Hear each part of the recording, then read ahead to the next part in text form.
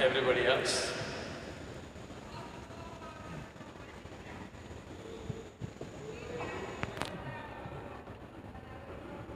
Don't hold back, go to yoga center. Don't hold back. Okay, please, I understand. I would like to answer every damn question, but uh, I committed eight to ten. I don't want to hold people because they don't want to get up and leave when I'm still sitting here, okay?